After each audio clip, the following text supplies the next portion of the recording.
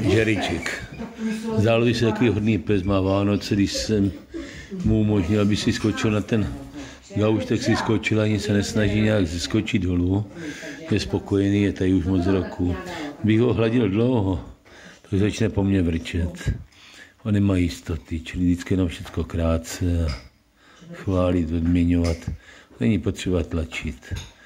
Za měsíc, za dva, za tři, za pět se mu bude sundávat koža, bude se mu třeba i otvírat huba, ale není účel nikam spěchat, jenom klídek. Klídek a nechat ho být. Ať si, ať si je svůj. To, že vrtí ocáskem, to neznamená, že by v zápětí nezavrčel.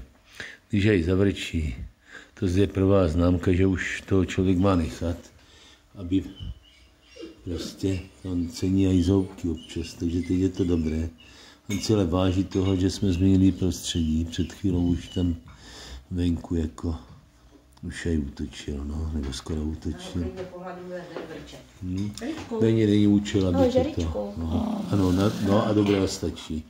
Jo, čili to on dělá, on už na mě je zvyklý trošku, já jsem před sebou věnuju, ale taky by to dlouho nevydržel. Čili vždycky chvíli a potom ať ono to, že on zavrčí, to je pro nás upozornění, že máme to nechat. Později se to bude dělat díla, díla, díla, on ten pes bude už zvyklý, že s ním manipulujeme, taky ty, dneska už ho přepínám na čtyři místa nebo na pět míst, vždycky ho přendávám a různě dávám jiné vodítko, co tam měl a tak dále, aby ten pes byl zvyklý na tu manipulaci u krku a na klidné zacházení. No. Je to šikovný malý pejsek, akorát starý už, no. Starý žeriček, že? Žeričku, hodný pejsek. No. Teďky dáme ti koko nějaké, no, hodný žery, no. no. Zkusíme, jestli si veme. Ale... Ano, už to je. No. Zkusíme, jestli si to veme, jenom tak hodný žeriček, no. no.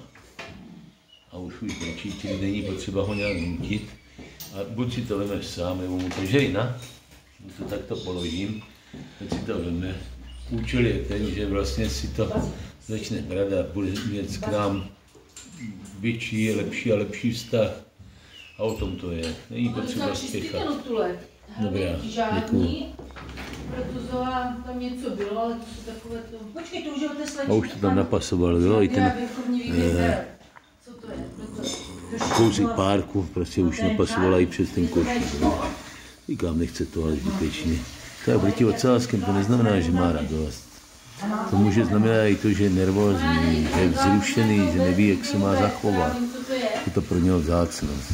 Když jsem ho vytáhl, ale už ho vytahuji celkem pravidelně.